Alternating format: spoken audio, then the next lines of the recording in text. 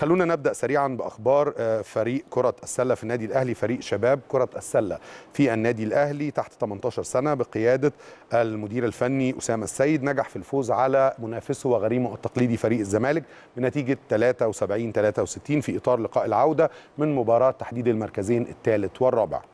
أقيمت المباراة عصر اليوم على صالة هيئة قناة السويس بمدينة الإسماعيلية. وبهذه النتيجة حصد النادي الأهلي المركز الثالث والميدالية البرونزية دون النظر أو انتظار نتيجة لقاء الكبار آه وتحديد المركزين الأول والثاني واللي انطلقت في تمام السادسة مساء على نفس الصالة وفي نفس ملعب المباراة اللي أشرنا إليها في البداية بين الأهلي والزمالك. بالتأكيد ده ليس طموح الجمهور الأهلاوي أو أعضاء الجمعية العمومية أو مجلس إدارة النادي وكل القائمين على أمور الرياضة وكرة السلة تحديدا ولكن شاء الله القادم أفضل ومجلس الإدارة. زي ما قلنا لحضراتكم في حلقاتنا وتغطياتنا المختلفة مش بس من خلال برنامج ألعاب الصالات ولكن بشكل عام عبر شاشة قناة الأهلي إن النادي الأهلي اهتم جدا بالصفقات ودعم فريق وقطاع كرة السلة هذا الموسم واستعان بمدير فني أكثر من رائع في ال first team أو فريق كرة السلة الأول في النادي الأهلي فريق الرجال. الكابتن أشرف توفيق بخبراته الكبيرة وهو غني عن التعريف وعن سيرته الذاتية الأكثر من رائعة فضلا عن صفقات ودعم مالي غير مسبوق